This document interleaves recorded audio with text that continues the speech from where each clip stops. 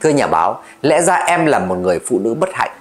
Nhưng may mà em tỉnh ngộ được sớm Nên giờ đây mọi đau khổ, mọi phiền não trong cuộc sống đang trốn chạy em. Tôi đã nhận được một tin nhắn như vậy của một người phụ nữ. Đây là kênh chậm lại 5 phút Và tôi là nhà báo Bùi Hải. Ngay sau khi clip lời cảnh tỉnh của một phụ nữ được phát trên kênh chậm lại 5 phút thì tôi nhận được tâm sự của một người phụ nữ khác. Đây là một tâm sự rất thú vị nên hôm nay lại xin chuyển đến quý vị toàn văn cái tâm sự này.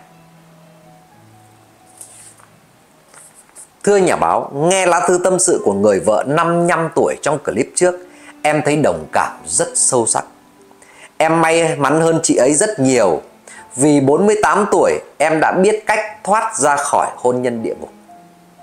Em sinh ra ở một vùng trung du, tuy không mấy nghèo khó nhưng tập tục còn lạc hậu. Năm 16 tuổi, em bị bố mẹ ép gả cho một thanh niên 18 tuổi, còn đang tuổi ăn tuổi chơi và tính cách trẻ con hơn em rất nhiều. Em đã khóc suốt 2 tháng khi về nhà chồng. 5 năm đầu làm vợ của em không khác gì sống trong địa ngục vì chồng mải chơi, cờ bạc, rượu chè, gái gú đủ cả. Chẳng những chồng không giúp em được một chút nào việc gia đình mà còn đánh đập vợ sau những cơn say. Vì kinh tế gia đình chồng em cao hơn hẳn nhà em và họ cũng giúp nhà em một chút ít vật chất trong những ngày khó khăn nhất nên chồng em đối xử với em bất công bao nhiêu em đều cam chịu. Càng cam chịu càng nhân nhượng thì chồng em càng lấn tới không biết điểm dừng. Sau khi sinh con, vì quá bức bối, em bị trầm cảm nặng nhưng ơn rời đúng lúc nguy nan nhất thì có đến hai quý nhân phù trợ. Người thứ nhất là bác sĩ chữa trầm cảm cho em, còn người thứ hai là một phụ nữ bất hạnh. Cô ấy đã phải chịu 20 năm làm vợ trong cay đắng cho đến lúc thoát ra được. Cô ấy đã dành 5 buổi nói chuyện và giúp em tỉnh ngộ. Cô ấy bảo em rằng đời cô khổ 20 năm nhưng khi thoát ra được cô mới biết thế nào là hạnh phúc. Cho nên cô muốn giúp cháu con đường để không phải đi vào vết xe đổ của cô nữa.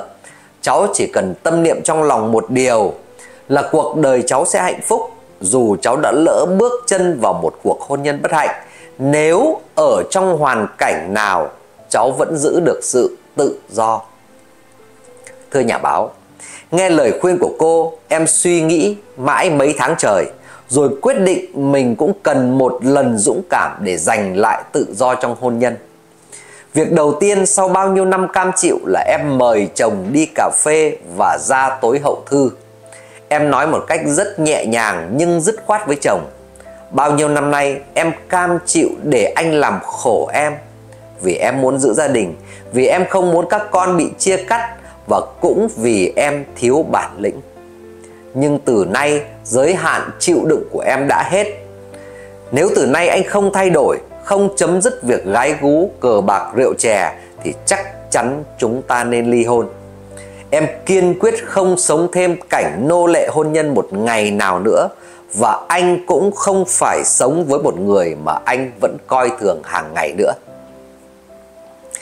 Nghe em nói chồng em rất sốc nhưng rồi anh ta nổi sung lên tỏ vẻ bất cần và thách thức chắc trong thâm tâm của anh ta không tin em có thể làm được điều đó kệ anh ta không tin, em bắt đầu thực hiện kế hoạch của mình. Khi anh ta nhậu nhẹt về muộn, em và các con ăn cơm trước và không để phần cơm cho anh ta nữa. Với lý do là muốn ăn cơm ở nhà thì phải tôn trọng gọi điện cho vợ nấu. Rồi khi anh ta vẫn gái gú, em không cho động tới người em nữa. Anh ta điên tiết đánh đập em thì em báo công an, báo chính quyền vào lập biên bản sau đó em mời bố mẹ hai bên họp đại gia đình để đưa ra một thông điệp đanh thép. Nếu chồng em tiếp tục hành xử thế này em sẽ ly hôn. Các con đều muốn ở với em kể cả ba mẹ con có đi ăn mày cũng còn hơn một cuộc sống mất tự do. Nghe em nói gia đình chồng cũng rất sốc trước sự bản lĩnh rất bất ngờ của em. Họ không muốn em ly hôn vì họ yêu các cháu, không muốn các cháu theo mẹ phải khổ sở. Nhưng trước thái độ của em thì họ hiểu rằng em nói được và em làm được. Từ hôm đó họ súm vào khuyên giải và gây sức ép với anh chồng. Và một điều tuyệt vời đã xảy ra, anh chồng hứa sẽ cai rượu, cai gái. và 6 tháng nay dần dần anh ấy đã thực hiện được lời hứa.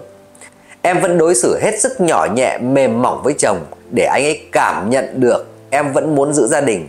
Nhưng bên cạnh đó lại hết sức nguyên tắc để chồng mình biết mình kiên quyết đến đâu, kiên quyết không nhượng bộ trước các tật xấu. Và em cũng xác định luôn, nếu anh ta không cai được bệnh cũ thì em cũng nhẹ tênh mà tiến tới ly hôn. Thú thực, mới 6 tháng được sống một cuộc đời tự do mà em thấy sự vui vẻ, tự tin đã trở lại. Vẫn sống cùng một ngôi nhà với người chồng ấy nhưng em đã thực sự có được tự do. Những thứ đau khổ trước đây đã giảm được 80%. Điều quan trọng hơn là em biết từ nay trở đi em đã tìm được công thức để cuộc đời mình tự do. Cho nên em muốn nhắn nhủ với những người chồng, người vợ đang mất tự do trong gia đình mình rằng bước vào hôn nhân, mỗi người cần thiết lập những nguyên tắc sống để sự tự do của mình không bị đối phương đánh cắp. Và nếu ai đã chót mất tự do, hãy tìm cách giành lại dù có phải bắt đầu lại từ đầu. Một người nghèo mà có tự do còn hơn một người giàu có nhưng sống cuộc đời nô lệ. Thưa quý vị, quý vị cảm nhận gì về cách giải quyết của người phụ nữ mà tôi đã đọc trong lá thư? Xin hãy để lại bình luận và comment dưới video này.